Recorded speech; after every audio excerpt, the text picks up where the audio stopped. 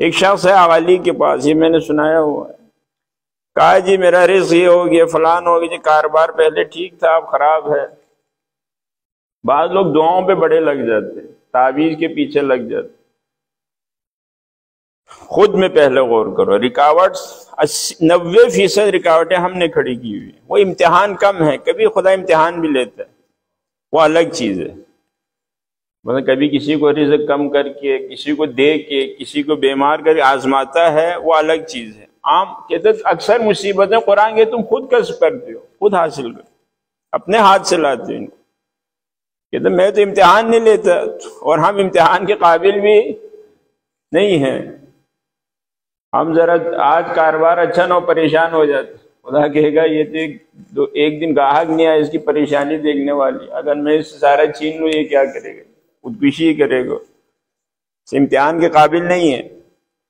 तो आया वो, कागज़ सा पहले कारोबार अच्छा था, ये कोई तावीज़ लिख दो माशा यहाँ तावीज़ आमिलों पे, दागों पे ज़्यादा एतक़ाद खुदा की नस्बत हाँ ऐसे ऐसे लोग आते हैं तावीज़ के लिए, घर में एक नंबर बदखलाक न नमाज़ न हिजाब, कुछ भी नहीं, वो बस पीरों के पीछे उनको सजदा कर रहे हैं। बड़ा पहुँचा हुआ पीर है हाँ कागज़ साहब ने कहा, कागज़ कलम लाओ। कागज़ कलम लिखने लगे, अचानक रुक गए।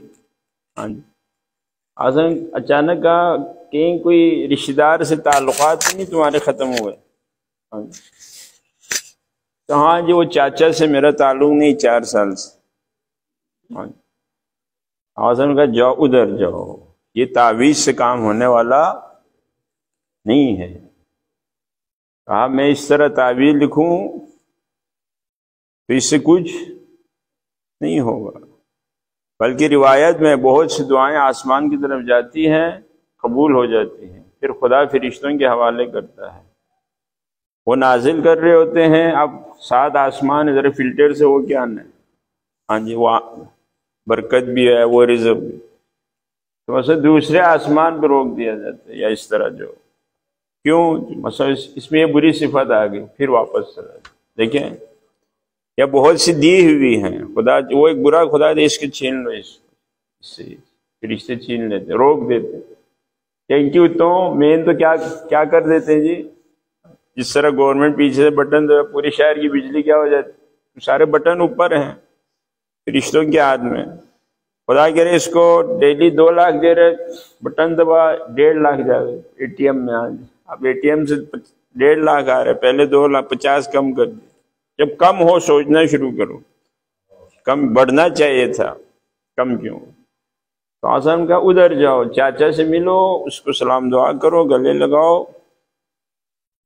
वो हमेशा कहते हैं, रफ़ीक स्वीट, इस, ये तावीज़ से हल नहीं होगा, ये रफ़ीक स्वीट की मिठाई से हल होगा।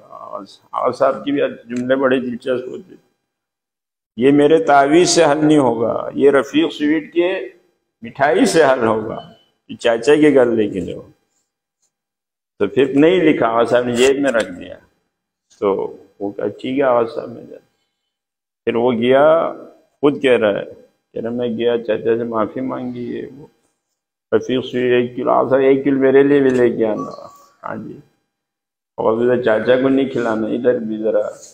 तो बाद में कह रहा आवाज़ साहब, पहले से भी मेरा कारोबार बहुत से आते परेशान, आँखें निकली हुई सुर्ख टेंशन में जी, काम नहीं हो रहा जी।